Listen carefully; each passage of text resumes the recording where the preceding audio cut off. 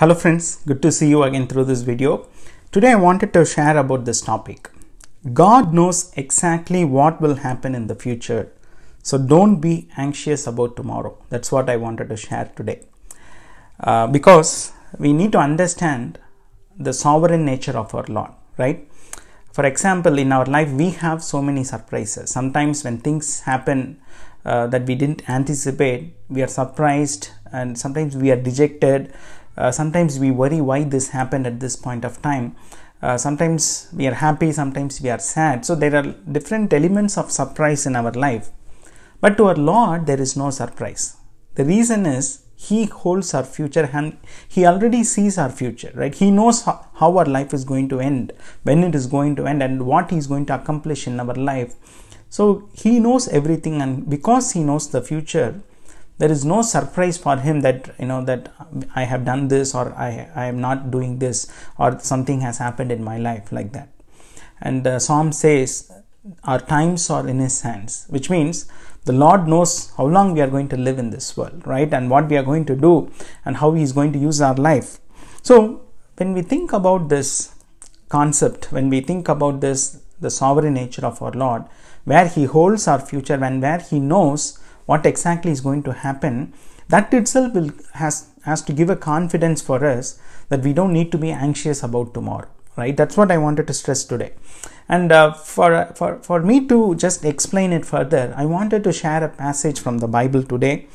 Uh, it starts in the gospel of mark chapter 11 verses from 1 to 7 so these seven verses are the, are the as the passage that we are going to see today just to understand how god you know knows everything you know even the future even how he predicts uh, to the detailed way in a in a detailed way in a minute way what exactly is going to happen is what we are going to see today.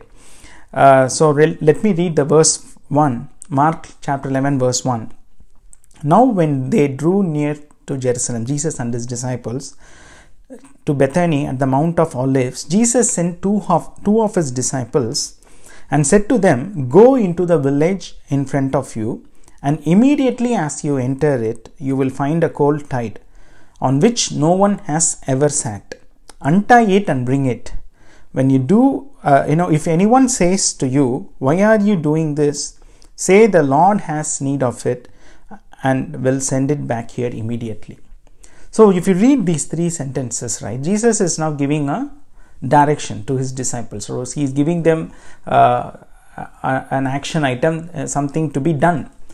And uh, so he is asking them to go exactly to which place and to bring the uh, the colt right like colt and also what it, what he says if anybody asks when you untie it if anybody asks you have to say the lord need it and then they will send it back immediately right so jesus not only gave an order or not only gave an action to be completed, but he also said during the course of action you may encounter these kind of questions or there may be some uh, uh, questions or something that may come against you but this is what you have to replay and then you will uh, bring the colt here right? Jesus made it very clearly. He is giving a complete picture like a plan of what they have to do. And then as they went right? This is the most important thing. You know mark chapter 4 mark chapter 11 verse 4 it says and they went away.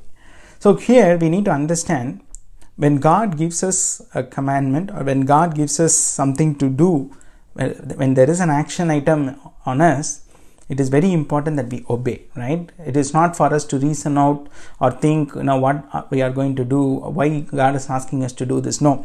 They immediately went away and they exactly found the colt tied at a door outside in the street and they untied it.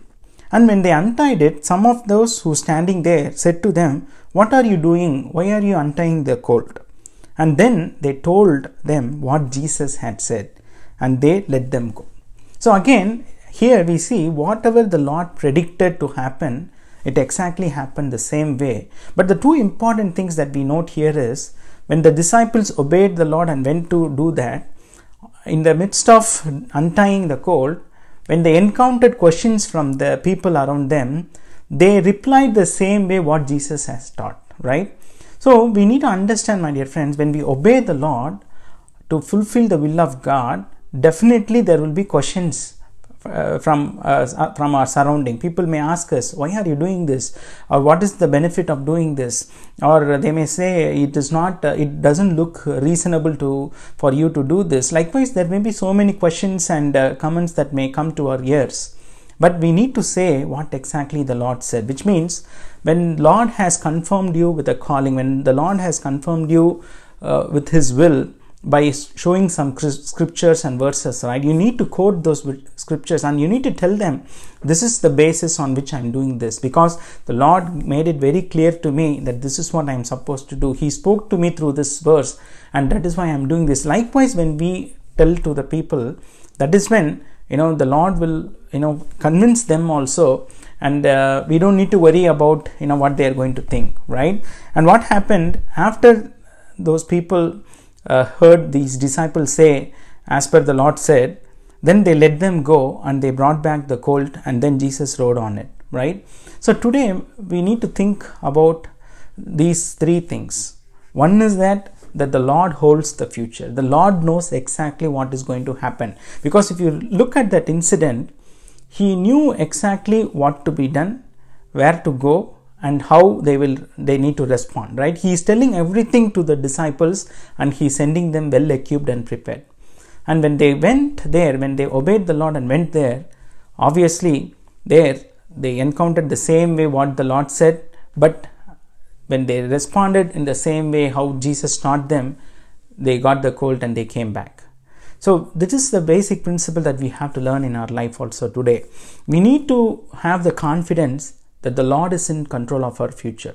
Right? Matthew chapter 6, verse 34, he said, Do not be anxious about tomorrow. Because he said, Seek ye first the kingdom of God and all his and, and his righteousness, and all these things shall be added unto you. So we have a heavenly Father who knows all our needs even before we ask him and he holds our future.